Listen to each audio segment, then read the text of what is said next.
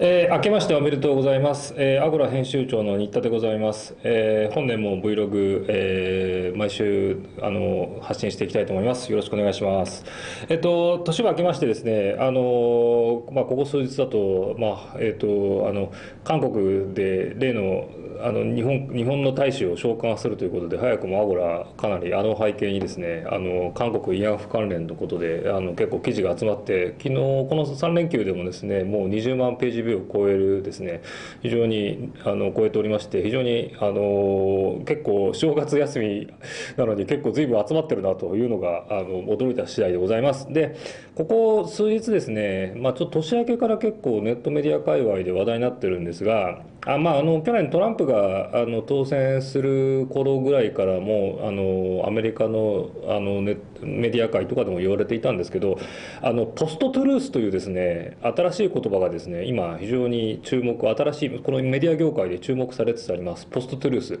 まあ、つまり次なる真実というか、まあ、脱真実というかあのー、まあちょっといわゆる、まあ、いわゆるフェイクニュースという言葉でも、まあ、訳されたりとかいう見方もあるんですけどもつまり実際にその、まあ、真実ではない、あのー、ことをですねルフしてまあ、例えばあの特定ののの、まあ、陣営にですね選挙で有利になったりするようなあ情報があの、まあ、ルフされたりとかそういう形でいわゆるその情報戦の一環でですねそういうポストトゥルースという言葉があの今注目されております。でその一例なんかで結構そのまあえっ、ー、とで実はこのポストトゥルースに関してあの今この数日ですね今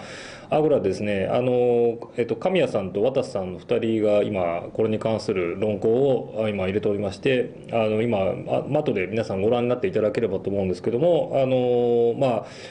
えー、去年トランプが当選した頃からですねあの、まあ、トランプが当選した背景にはですねそのトランプを支援している側のですねネットメディアがですねこういう、まあ、ポストトゥルースなものを投げかけてたんじゃないかというようなあの、まあ、言説がですねアメリカの方であるリベラル側からあるらしくてですが、まあ、それに対して神谷さんはいやリベいやリベラルメディア側だって、まあね、ポストトゥルースなことをやってるんじゃないかという指摘もしたりあるいは私さんのはそもそもこんなポストトゥルースなんていう言葉が出てくること自体が言論の自由に対して、えー、脅威になるんじゃないかということでそこは厳しく見ております、えー、でポストトゥルースに関してはまだ日本ではそんなに大きくはなってないんですけども、あのー、ただまあ今後ですねどこまであ、まあ、まあやっぱりその DNA の例の年末になった問題もあるんであのあのウェルクルですねやっぱりその事実とか結構いい加減なウェブサイトっていうのが出てくるとまああれは正直言うとアメリカのポストトゥルースなんかに比べたら全然かなりもうそもそもの情報設計からしていい加減でですねあのまあえっと本当に単な単なるもう炎上目当て PV 稼ぎのためのですねあのそういうあれでもうもうまあウェブマーケティング的な発想ありきのものだったんですけどもあのまあ、ちょっとジャーナリズム的にですねちょっと非常にその今後問題になるんじゃないかとかいうような視点ではあのあまりプロス本当の意味でまだ日本ではポストトゥースというところではあの問題になっていなかったようにも思いますただですねよくよく考えてみるとそもそもこの日本ではですねもうポストトゥルース的なものってあったと思うんですよ。実はそれは何かというと例えばもう三十数年前からある話ですけど、まあ、朝日新聞のですねあの従軍ヤフー報道なんていうのはこれほどですねもうまさにポストトゥルースなものはなかったわけでございましてですね、まあ、そういう意味ではですね日本のメディア界はですね、あ、る意味30年ぐらい先取りしていたんじゃないかということも言えるんじゃないかということで、まあ、日本の場合は生軸は伝統的な名門と言われる報道機関がですねそのもうポストトゥルースと今の文脈ならポストトゥルースと言われかねない誤報をしてでいまだにですねなんとなくですね。まあ一回誤報は認めたもののですねなんか中途半端に引きずってるような感じもあります。なんかちゃんとねあの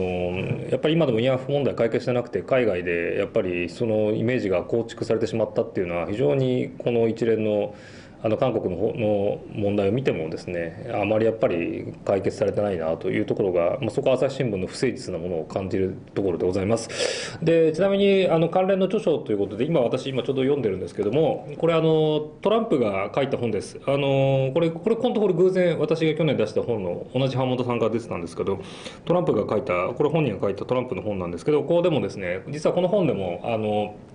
えーまあ、メディアに関する批判みたいなことを書いておりましてトランプも非常にですね特に去年のあの共和党の指名選挙の時にあのニュースキャスターと対立したくだりの話なんか書いてあるんですけども非常にあの、えー、まあまあその権力者側から見たというか権力者というか、まあ、当時は彼はチャレンジする側でしたけどあの、まあ、トランプが見たまあメディア批判みたいなものも、まあ、ある種なんかそのいわゆるポリコリ的なものもまあもうものは許さないと。いう結構その辺のところを、えー、結構指摘している点で、まあ、まあこれは一つの見方だなと。今のこれからのトレンドを、まあ、占っていく上で、あのまあ、一つのメディア論としての見方としてはトランプのこのメディア論というのはなんか一つ面白いなというのが、えー、注目しているところです。まあ、それがいいかどうかは別として。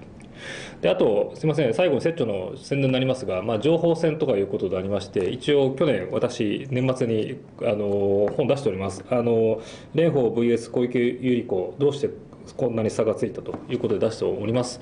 であのこの本は、まあ、そもそもあの二重国籍問題の、ね、ことで追及させてもらったという経緯のとそれから小池百合子さんの都知事選の情報戦の見事なあの情報戦ので制したというところの話を書いておりますがあの、まあ、日本でもですね本格的にですね本当にその今年は都議選もあるんですが、まあ、ポストトゥルス的なものが、まあ、何かねどっか特定の勢力が出てくるかどうかっていうのは考えにくいんですけども、まあ、いずれですね、まあ、このポストトゥルース的なものネットメディアの発達とともにですね、まあ、今後ですね考えていかなければいけないなと思っていたところで最後にあそう一点あの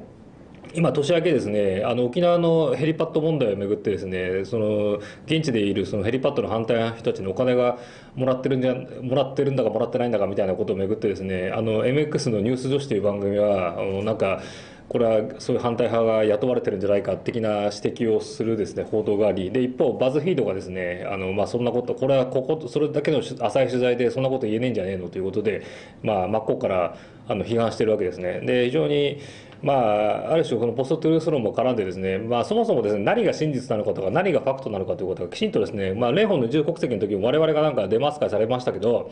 本当にですね、まあ、やっぱりポストトゥルース云々という前にですねきちんとですねファクトチェックとかですねききちんとですねそもそも真実は何なのかということをですねきっちんとですねやっぱり細かくですね検証して取材をして裏取りしていくことの大切さということを改めてね感じさせる騒ぎでございました。まあ、ちなみにですね、まあ、やっぱりこのバズフィードはですね朝日新聞出身者が結構多いのでなんか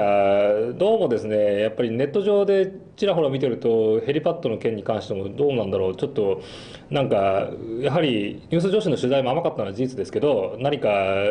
とはいえ確証を詰めきれてないとはいえ何何かちょっと怪しい部分もなんとなくなくはないので、まあ、実際これは今後ですねどっちに分配が上がるかということで非常に注目しております。まあ、アゴラちょっとそこまでちょっと今うちあのこれに関してちょっと取材するあれが今体制取ってないんであれなんですけど、まあ、非常にですねあのこの問題もこのいわゆるメディア論ポストトゥルース論というところでいう点では非常にどうなるのかあの注目しているところでございます。じゃあそれでも本年も引き続きよろしくお願いします。